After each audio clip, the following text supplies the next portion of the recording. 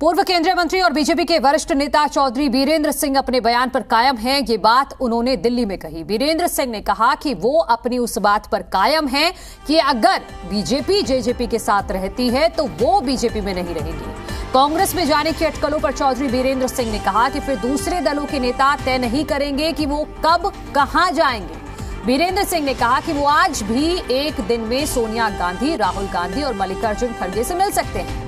कांग्रेस में जाने के लिए किसी की स्वीकृति की ज़रूरत नहीं पड़ेगी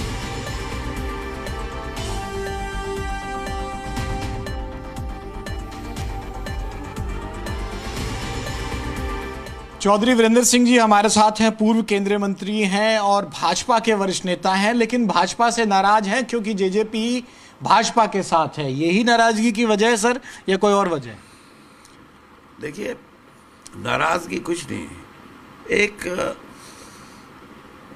पॉलिटिकल सोच है मेरी, और वो ये है कि अगले चुनाव में जेजेपी हमारे साथ मिलकर चुनाव लड़ेगी तो भारतीय जनता पार्टी को नुकसान होगा।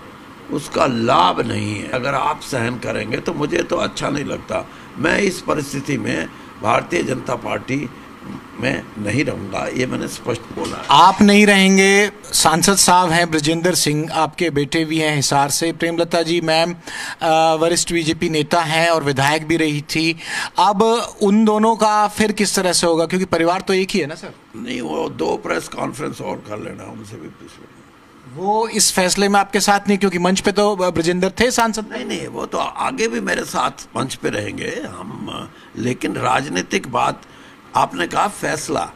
फैसला मैं ये कहूँ कि उनका फैसला मैं करूँगा नहीं। फैसला वो करेंगे लेकिन मेरी कितनी मानते हैं वो अलग बात है। दिग्विजय सिंह चौटाला कह रहे हैं केस कर देंगे जो हम पर इस तरह के आरोप लगाते हैं और कोर्ट में घसीटेंगे या तो सात दिन में साबित करके दिखाओ। दिग्विजय चौटाला का तो गजब है वो तो उसकी डिग्री भी सारी सही है उसकी क्वालिफिकेशन भी पूरी है उसका बोलचाल का तरीका भी।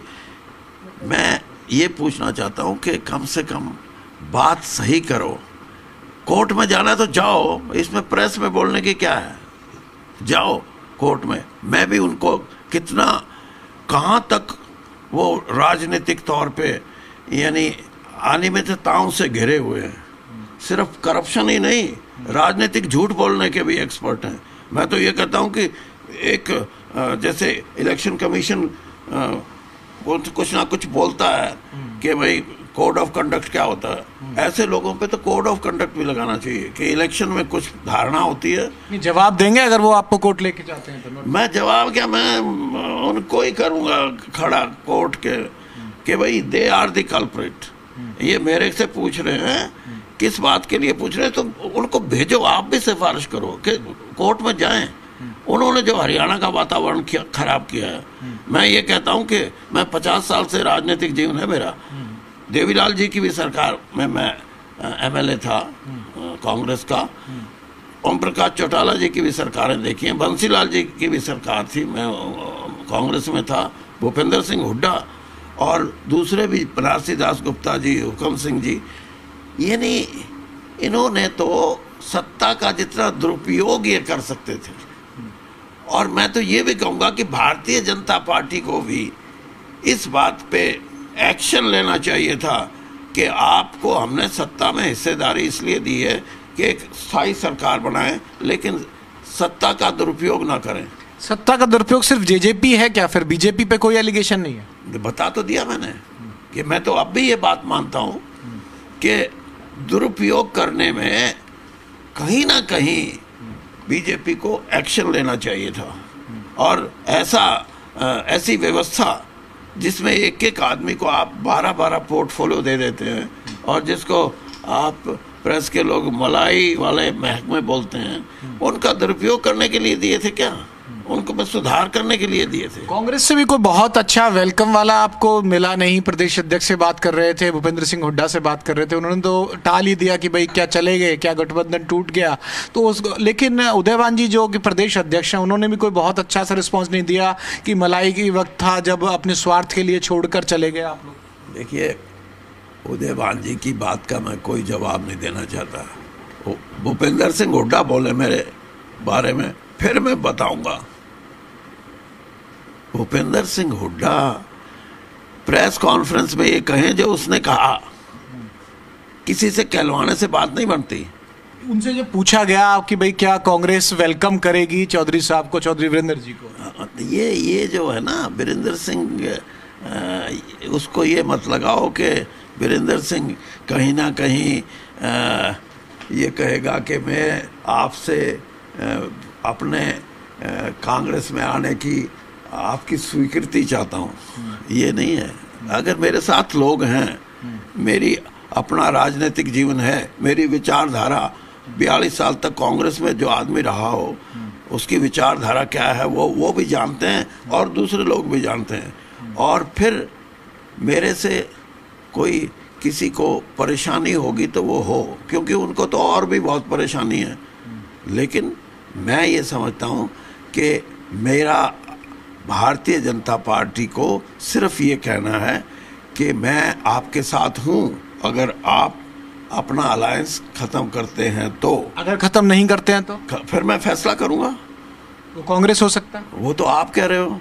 पूछ रहा हूँ। नहीं क्या पूछ रहे हो? कि क्या कांग्रेस हो सकता है आपका दूसरी पार्टियों का भी नाम लो तीन चार का। आम आदमी पार्टी हो सकता है।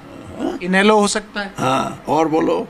यही एक्टिव सी पार्टी है। नहीं ये कोई पार्टियाँ सारी जो हैं पार्टी से भी कुछ चीज़ें ऐसी हैं जिनको आप साधारण ना लें।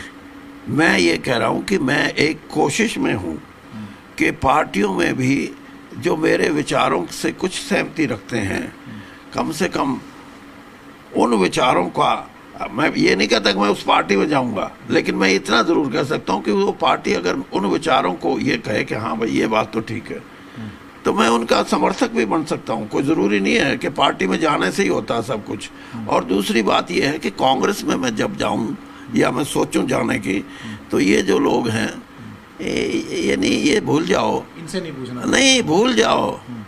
भूल जाओ ये कि मैं कोई ना कोई भूपेंद्र सिंह हुड्डा जी तो मेरे दोस्त भी हैं और हम मिलते जुलते भी हैं और भाई भी हैं। लेकिन मैं उनसे भी कभी कांग्रेस में ना जाने की, आने की, कांग्रेस छोड़ने की, कांग्रेस ज्वाइन करने की कभी बात नहीं करी। और अध्यक्ष जो हैं, हरियाणा के, उनसे भी मेरे को कभी इस बात पे कोई, लेकिन मैं ये निर्णय सिर्फ़ बोलने के लिए नहीं होते। राजनीतिक निर्णय है, और राजनीतिक निर्णय उस स्तर पे लिए जाते हैं, जिस स्तर पे हमारे को उनकी ज़रूरत है। आज तो मेरी एक बात है जो सिर्फ़ यहाँ तक है कि गठबंधन होगा तो हम बीजेपी को छोड़ना पड़े राष्ट्रीय स्तर पर आपने कन्वे किया उन लोगों को कि ये दिक्कत है और इस वजह से गठबंधन तोड़ना चाहिए। किस वरिष्ठ नेताओं से आपकी बात हुई सर? आप ये मान के चलो कि एक प्रधानमंत्री जी को छोड़ के बाकी कोई ऐसा नेता जो जि, जिसका राजनीति बीजेपी पार्टी में या बीजेपी सरकार में चाहे वो गडकरी जी हैं चाहे वो अमित शाह जी हैं चाहे वो हमारे नड्डा जी हैं चाहे और जनरल सेक्रेटरी हैं। मैंने सबसे ये बातें की हैं और सबको मेरी बात पसंद आई है। और बात पसंद आई है और उसको आ, कब उस पर वो फैसला करते हैं। तो अलग बात। ये गठबंधन तोड़ने की बात की शुरुआत आपने की थी। बीच में कुछ नेता उसमें कूदे प्रभारी विप्लव देव भी काफ़ी कड़े नज़र आए। अब क्या चौधरी साहब के साथ हरियाणा बीजेपी के नेता सुर में सुर नहीं मिलाते हैं इस मुद्दे पर नहीं सब मिलाते हैं। सब मिलाते हैं। पर्दे के पीछे। पर्दे के पीछे आगे की बात नहीं। मैं ये मैं बोल दे बोल के सुर मिला रहा हूँ। वो म्यूज़िक से मिलाते हैं मिलाते सुर एक आखिरी सवाल स्वाभाविक कांग्रेस वाला इसलिए बनता है कि आप जिस कद के नेता रहे हैं लंबा करियर राजनीति में आपका कांग्रेस के साथ भी रहा है और जब छोड़ के गए थे मैं ज़िक्र कर रहा था शायद अभी अब किसी साथी से आप बात कर रहे थे कि मैं सोनिया जी से भी मिल के आया था तो कद तो है उसी लेवल का। उदयवान जी इसलिए पल्ला झाड़ रहे हैं कि भाई वो तो आला कमान के लेवल के नेताओं से बातचीत करते रहे हैं पहले। नहीं नहीं मैं अब भी अब बीच में भी करता हूँ। कोई कांग्रेस से मेरा ये नहीं है कि मैं वो मेरे दुश्मन है या मैं उनका उनके प्रति बहुत नाराज़ हूँ। ऐसा नहीं है। कांग्रेस का हर आदमी और दोस्त हैं मेरे बल्कि मैं ये कहूँ कि कांग्रेस में ज़्यादा दोस्त हैं। राजनीतिक तौर पे तो इसमें कोई अतिशोक्ति एक आखिरी सवाल पूछ लेता हूँ सर। चलो ये तो हो गई आपकी बात गठबंधन की। क्या चौधरी वीरेंद्र सिंह जी से किसी राजनीतिक दल ने 2024 के लिए कोई संपर्क साधा उनकी तरफ़ से? देखिए नंबर एक बात तो ये कि सभी राजनीतिक दलों को ये लगता है कि वीरेंद्र सिंह बीजेपी में रहेंगे। और उनको ये भी लगता है कि बीजेपी में भी इसलिए रहेंगे कि ये गठबंधन नहीं चलेगा। और इसलिए वो संपर्क क्यों करें? दूसरी बात यह है कि विचारधारा के रूप में मैं मैं मतलब कोई मुझे ये कहे कि मेरा सोशलिस्ट विचारधारा है, मेरी कांग्रेस की विचारधारा या मेरी कम्युनिस्ट, ये बातें नहीं है। बातें ये है कि मैं जिस दिन चाहूँ मैं सोनिया जी से मिल सकता हूँ, जिस दिन चाहूँ मैं खड़गे जी से मिल सकता हूँ, जिस दिन चाहूँ मैं राहुल जी से मिल सकता हूँ। लेकिन ये एक एक ऐसी स्टेटस है जिसमें हम राजनीतिक तौर पे अपने विचारों का आदान प्रदान करते हैं। कभी पार्टी बदलने की पार्टी ज्वाइन करने की बात आएगी तो जो लोग आज ये टिप्पणी कर रहे हैं मेरे को उनसे बात करने की कोई ज़रूरत नहीं होगी। मैं कभी भी सोनिया जी से मिल सकता हूँ। बीजेपी की तरफ़ से आपकी जींद रैली आपके बयान के बाद किसी का फ़ोन या किसी का कोई संपर्क हुआ किसी लेवल पे? भले ही नाम ना बताएँ। नहीं नाम तो तब ना बताओ ना जब किसी का हुआ हो। कोई रिएक्शन किसी? एक मिनट मेरी सुन लो।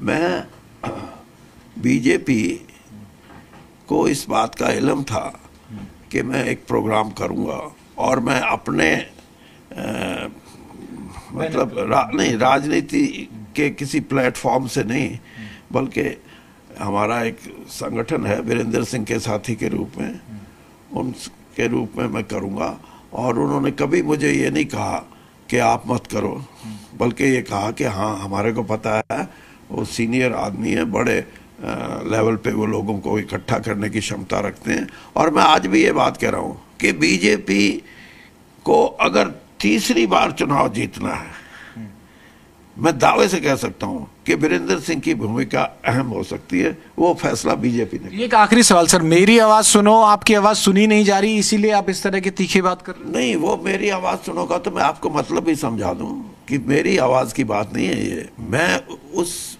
कार्यक्रम में लोगों की जो राय है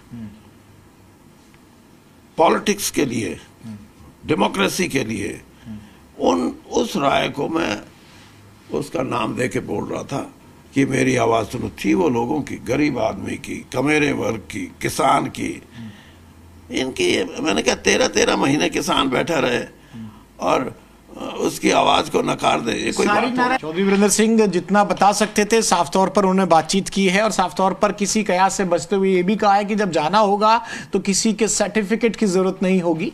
लेकिन जो बात कही थी जींद में उस बात पर अड़िग हैं और आज भी साफ़ तौर पर कह रहे हैं कि अगर जननायक जनता पार्टी के साथ गठबंधन रहेगा तो चौधरी वीरेंद्र सिंह इस भाजपा के साथ नहीं रहेंगे। वहीं सांसद बेटे और प्रेमलता जी के बारे में साफ़ कहना है कि इसके बारे में आप उन लोगों से बात कीजिए। अपने जींद वाले स्टैंड पर चौधरी विंदर सिंह आज भी अड़िग हैं और तमाम तरह के सवालों पर बेबाक बात करके जवाब दे रहे हैं। कैमरामैन सौरभ के साथ विनोद लांबा, जी मीडिया, दिल्ली।